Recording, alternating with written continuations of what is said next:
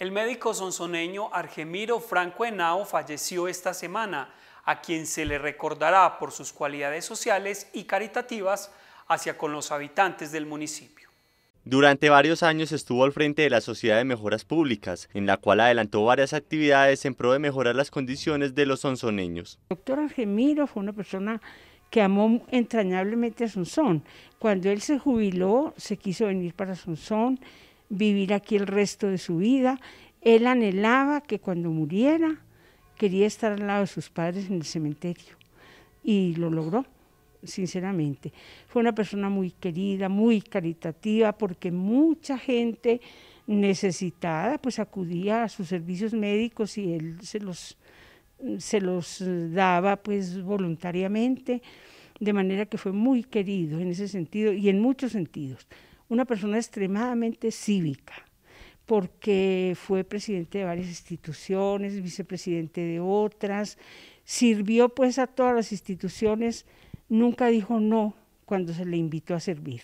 Tal vez fue el ejemplo de mi hermano mayor, eh, Daniel Franco, que era médico, llevaba a mí como 10 años. Entonces, seguí la misma carrera de él eso lo contagia a uno. Durante un espacio de 22 años estuvo como presidente de la Sociedad de Mejoras Públicas de Sonsón. Cuando murió la señorita Celia Ramos, que era la presidenta, entonces pensaron en el doctor Argemiro y él sin ningún reato dijo con mucho gusto yo le sirvo de presidente entonces ahí empezó pues a ser presidente hasta los 22 años que ya renunció y, y se cambió la junta bueno también fue vicepresidente de la Casa de los Abuelos. Nos ayudó muchísimo en la Casa de los Abuelos. Él, y yo organizamos la casa porque la casa estaba cerrada totalmente y entonces el doctor, entre él y yo, pues dirigimos al trabajador que nos la limpió la casa y nos la organizó y desde ahí empezamos a volverla a reabrir. Me tocó iniciar la sección de bienestar familiar por un estudio que hice en Puerto de Río, allá, hacer un diagnóstico social desde Puerto de Río. Pues éramos un grupo, yo era el coordinador del grupo. Igual que consultorio mío le pregunté yo, hombre, hey, decime, ¿quién te cosió?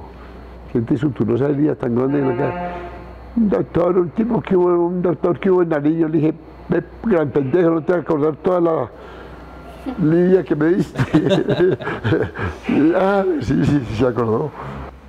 ¿Qué más? El Comité Humanitario de Sansón la Cruz Roja, lógicamente también fue más de 20 años su presidente, porque mucho más de 20 años, porque hasta el momento, hasta ayer, fue presidente de la Junta Directiva, una persona muy querida, inclusive en los últimos años se iba, acompañaba a mi hermana Fabiola, pues que que también ha trabajado siempre en la Cruz Roja de esa manera voluntaria, y a las compañeras, y se quedaba ya un rato, la gente le hacía hasta sus pequeñas consultas y él no tenía ningún inconveniente.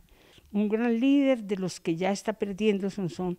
Sinceramente ya nos da tristeza ver que esta gente ya mayor, porque él murió de 92 años, esta gente ya mayor se nos va yendo y no hay personas que quieran como emularlos, como seguirles.